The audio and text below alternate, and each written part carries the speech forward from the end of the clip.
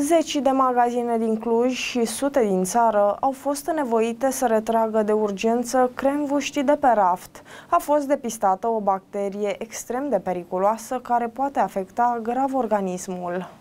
Conform disinios.ro, Infocons anunță că produsul tip crembuști Udi a fost rechemat în această săptămână din toate punctele de vânzare din România, ca urmare a detectării bacteriei Listeria monocitogenes, transmite Ager Press. Această acțiune a fost demarată ca urmare a detectării bacteriei, astfel retrăgându-se de la comercializare în mod voluntar loturile de crembuști Woody, ca măsură de precauție. Motivele rechemării, lista cu producătorii, dar și categoria de produse ce fac obiectul retragerii de la comercializare sunt organizate în aplicația InfoCons, într-o manieră ușor de înțeles și la îndemâna tuturor consumatorilor, se menționează în comunicat. Pentru a veni în sprijinul consumatorilor, Infocon spune la dispoziția acestora alertele în timp real cu privire la rechemarea produselor de la comercializare regăsite în secțiunea alerte, din cadrul aplicației gratuite Infocons.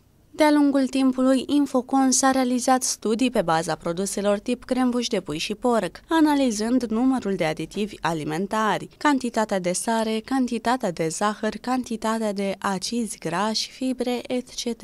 Aplicația Infocons facilitează aflarea acestor informații prin scanarea codurilor de bare. Fie că sunt în supermarket sau acasă, consumatorii pot scana codurile de bare de pe produsele pe care vor să le achiziționeze sau consume, pentru a afla toate informațiile de pe etichetă într-o fracțiune de secundă. Mai mult decât atât, în urma scanării codului de bare, aplicația Infocons îi atenționează pe consumatori cu privire la numărul și denumirea alergenilor regăsiți în produsul scanat, se precizează în comunicat, relatează dcnews.ro.